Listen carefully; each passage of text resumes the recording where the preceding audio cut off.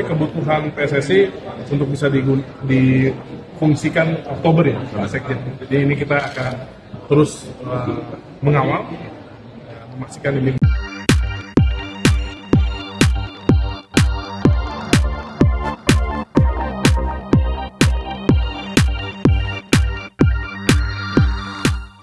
Uja Sumringah, Mes Hilgers, dan Eliano Renders setelah mendapatkan persetujuan naturalisasi untuk membela sepak bola timnas Indonesia.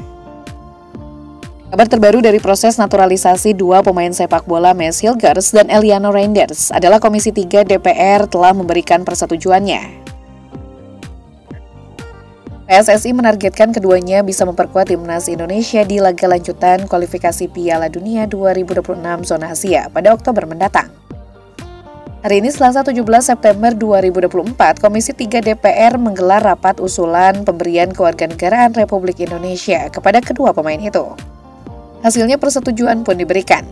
Menteri Pemuda dan Olahraga atau Menpora Dito Aritejo dan Sekjen PSSI Yusi Yunus serta perwakilan dari Kementerian Hukum dan HAM mengikuti rapat tersebut. Di Komisi 3, Alhamdulillah berjalan lancar. Selanjutnya kami akan membahas soal naturalisasi ini bersama Komisi 10 yang membawahi bidang olahraga. Kata Dito di Kompleks Gedung DPR Selasa 17 September 2024. Dito mengatakan naturalisasi dalam tubuh tim nasional sepak bola Indonesia ditargetkan 40 persen. Dia mengatakan langkah itu sebagai salah satu upaya untuk meningkatkan prestasi tim nasional. Ia meyakini proses ini sebagai salah satu upaya dalam membangun sepak bola tanah air.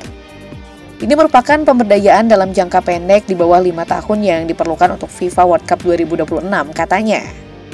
Messi Hilgers dalam Instagram story-nya yang sedang berjalan di ruangan klub sepak bolanya terlihat senyum bahagia setelah mendapatkan kabar dia diizinkan bergabung dengan timnas Indonesia dan siap bermain di bulan depan. Eliano Renders pun juga terlihat bahagia dan sumringah. Dia menggugah dalam postingan Instagramnya ketika menggunakan jaket timnas Indonesia dan memberikan caption, dalam jangka waktu 8 hari, sambil menambahkan emoji bendera Indonesia. Mesil Gers dan Eliano Renders memiliki darah Indonesia dari ibunya yang berasal dari Manado, Sulawesi Utara, dan Ambon, Maluku. Saat ini kedua pemain yang sama-sama berusia 23 tahun ini merumput di ere divisi Belanda. Mesil Gers adalah bek tengah 20 FC sedangkan Eliano Renders memperkuat Pek Zwolle berposisi bek kanan atau kiri. Dia dikandung dari gelandang klub AC Milan dan timnas Belanda Tijani Reinders. Erik menargetkan dua pemain itu bisa bermain untuk timnas Indonesia pada Oktober setelah pengajuan naturalisasi keduanya disetujui Presiden Joko Widodo atau Jokowi. Dan juga Menpora Dito Aritejo serta Menteri Hukum dan HAM atau Menkumham Supratman Andi Aktas. Itulah beberapa informasi yang dapat kami sampaikan hari ini. Untuk update berita selanjutnya, ikuti terus channel ini dengan cara subscribe dan aktifkan notifikasi loncengnya.